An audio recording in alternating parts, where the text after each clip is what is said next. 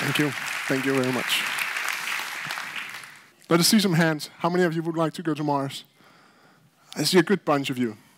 What if I told you that Mars is several hundred million kilometers away? It would take you at least six months to get there. Still takers? That didn't scare you a lot. What if I told you the surface of Mars has an average temperature of minus 60 degrees Celsius? Still takers? Great, great to hear. But what then if I told you the only way you could go was if you gave up the life you have here on Earth now forever? Still takers? That's pretty good to see. We still have takers. We have fewer, but we have takers. That's nice to hear. That could actually become the reality for, in, in as little as 10 years, for four prospective colonists. The project is called Mars One. It was established in 2011 by uh, a couple of Dutch guys. In 2013, they opened up applications for a one-way trip to Mars. At that point, about 200,000 people expressed interest in taking that trip. 200,000 people. It's a lot of people. Granted, many of them didn't know what Mars had in store for them. They quit at no larger obstacles than uh, answering a questionnaire online and uh, uploading a video. But still, 200,000 people they expressed interest in just leaving their life here on Earth. Everyone knew that was what it was about, right from the start. So why would you do that? I will give you my perspective on that question later in this talk. But first, I would like to take you on a journey, starting with an idea, traveling through history, and hopefully ending up in the future. This, the journey starts with an idea. The idea is the current plan Mars One is developing. One thing that many modern innovators agree on are milestones ambitious milestones. One of these uh, modern innovators is Elon Musk, the founder of SpaceX, currently uh, the only private company to send rockets to the, the, International Space Station. Obviously, they don't send the whole rockets up there, but they use the rockets to launch the spacecrafts which supply the International Space Station.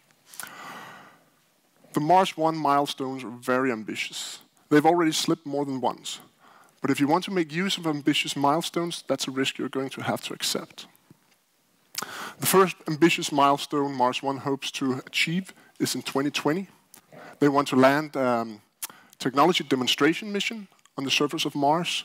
Uh, the purpose of this demonstration mission is to demonstrate some pretty basic but hugely important technological feats. This is, for instance, how much energy you can squeeze out of thin, flexible solar cells and also how you can use that energy to extract the water from the soil of Mars and turn that water into hydrogen and oxygen.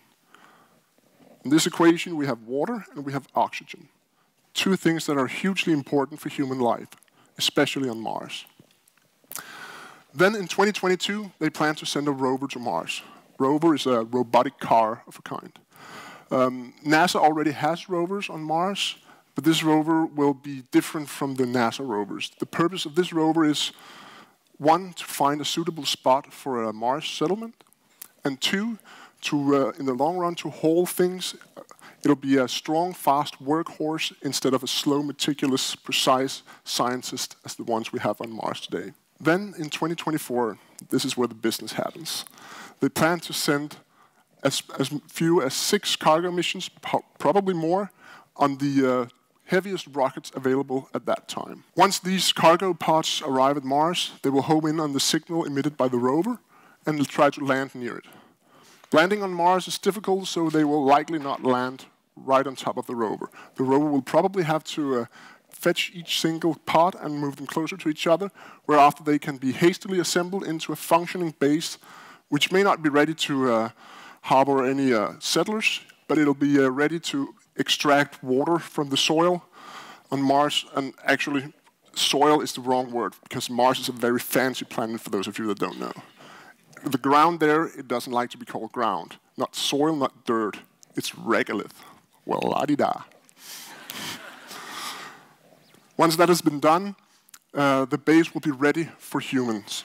So in 2026, four astronauts will be sent in orbit around Earth and then sent towards Mars.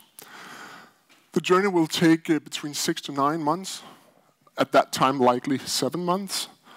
Uh, seven months where the astronauts will have little to do, little to occupy their hands, little to occupy their minds.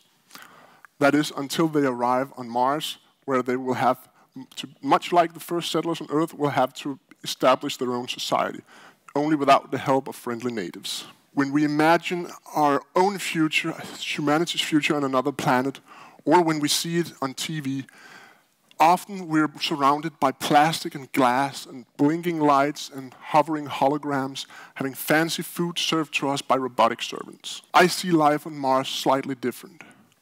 Much as the first settlers in, on the New World, in the New World here on Earth, had to build their own houses, tend their fields to have something to eat, so too do I imagine that the first Martian settlers will have to take care of their habitats, their houses, they will have to make sure that the, there's no dust on the surface of their solar cells, otherwise solar cells don't produce much energy. And they will have to cultivate their own food in the form of uh, vegetables and mealworms, such as these little guys here on the left. Often considered a stark contrast to the promises of tomorrow, the world of today can seem boring, sometimes even as moving in the wrong direction. If any of you have been following the human endeavors in space, my bet is that you've been feeling like this in the run of the last four years, maybe even as long as the last 40 years. After the space race ended in the early 70s, humans have looked to the skies and expected more. At that time, already after the end of the Apollo space program, moon program, sorry, just to make sure where it, where it ended up, um, plans were already being drawn for a basis on the moon and bases on Mars the near infinite resources of the solar system seemed ever so slightly out of our reach. From the beginnings uh, of human spaceflight, there's been a lot of vehicles to take us to space. Starting with, with the Russian Vostok, which carried uh, Yuri Gagarin, the first man in space, into space. Later came the Americans' answer to that, the Mercury. And after that, a quick succession of mostly American and Russian spacecrafts, peaking with the Lunar Lander module, which carried humans to the moon, launched atop the mighty Saturn V rocket, a rocket so large its like hasn't been seen since. After that, the pace slowed down a little bit with the uh, space shuttle. It slowed down slowly, but uh, once arriving in 2011, it slowed to an all-time low when the space shuttle was retired, and all we had left to go into space was the Soyuz, which is here on the right. It was designed in the 60s, and its Chinese derivative, the Shenzhou, on the left. That's all we have today to take us into space. So looking up at the sky today, you may be excused to think that the era of human spaceflight is coming to a halt. However, I don't think it's coming to a halt. I merely think we're in a transition phase. I think human spaceflight is transforming. And one of the major reasons I think that are the national space agencies such as NASA, who I imagine everyone knows, and ESA, the European Space Agency. What they're doing is they're trying to hand off the boring and routine parts of space travel. And yes, I do indeed think there will be boring and routine parts of space travel. This is the, uh, the transportation of cargo and uh, humans to the International Space Station. And they do this in order to free up their dwindling budgets uh, for more important things, for inventing things, for trailblazing, for creating things like the uh, Orion space capsule, which is intended to take people further and which is not yet profitable. In doing that, they're handing off the routine parts to private enterprise the parts which can be, can be um, profitable. That is done today by SpaceX and Boeing, respectively, with their Dragon and Starliner capsule, both intended to take cargo and humans into space as a commodity, not as a curiosity. And it doesn't have to end there. There are further plans in the making. SpaceX, as, uh, as late as this Tuesday, unveiled their new plans for a Mars colony infrastructure taking as many as 100 people at a time to Mars. So who knows, in 20 or 30 years, maybe you guys can come to visit me. So some of you might ask, why are we, as, as a race, as a society, why are we going to space? And I think that's a fair question, because space can be very far away for some of us. It's not part of our everyday lives. So with all the resources we put into rockets and satellites, what do we get in return? A 2014 estimate showed that the return of, on investment, the, the return of monetary value on an investment of hard cash made into space activities is between 7 and 14 times the initial investment. That's 700 to 1,400 percent. Two very important parts of this equation are GPS satellites and weather satellites, both of which are very important, very valuable to human society. Then why Mars? Why would you set up a non-profit organization to take people to Mars? That's a very different question with very different answers. To me, it's all about the uh, technological progress. And one thing we can expect from a Mars colony is sustainability and recycling technology. Because on Mars, everything is valuable. If you have something, if there's something you need on Mars, there's two ways you can get it. You can make it yourself on Mars, or you can get it from Earth. Getting it from Earth is very, very expensive. So you want to get, get as many things as you can locally. This includes recycling, this includes conserving energy, and that's something we can learn from here on Earth.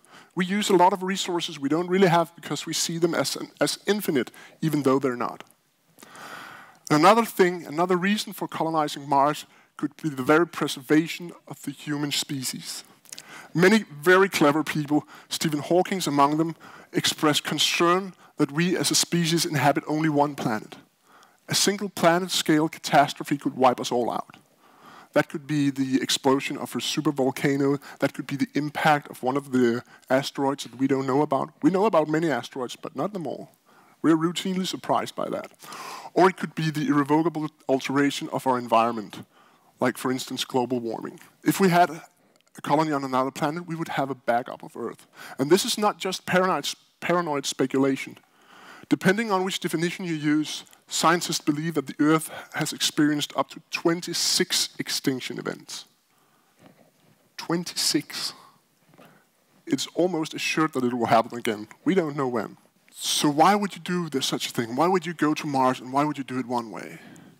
My personal motivation rests by far in the Apollo space program. In the wake of that program, we saw leaps and bounds in technology here on Earth. Not just space-related, but also very, very Earth-born. Down to Earth, very grounded.